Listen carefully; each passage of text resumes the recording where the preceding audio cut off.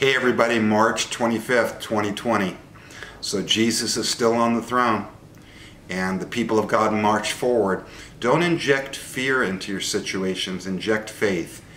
And uh, you say, well, how do I do that? I, I have a risk of losing mortgage, I have a risk of my car, losing my car, I have a risk of we've lost our jobs. How do you live by faith when it's obvious that you're losing and having great difficulties? I want to show you how you do that.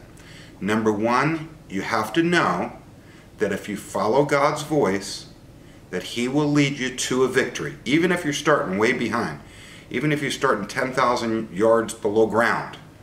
You know that Jesus will lead you out of the valley and He'll lead you into the promised land, okay? Out of the wilderness and the promised land. So, you have to have a, a, a patience to it and you have to have faith. The Bible says through faith and patience, you will inherit promises. So you say, Lord, I need employment. Lord, I need, you know, you, you tell him your needs. But remember, you put him first, you seek him, you listen to him, you do what you know to do, you do everything you know to do, you pray everything you know to pray, and you know in the end you'll win. The Bible says, in this world you will have tribulations, trials, but be of good cheer.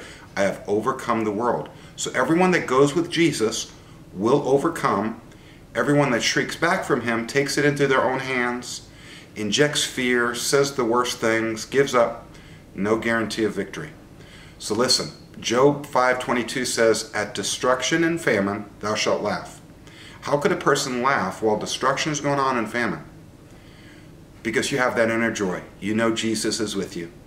So right now, get closer to God, closer to your church family, closer to your biological family and uh, you and Jesus will make it. Now listen, you say, how do I get closer to my church family? We're not even allowed to meet or our church didn't meet last week or whatever.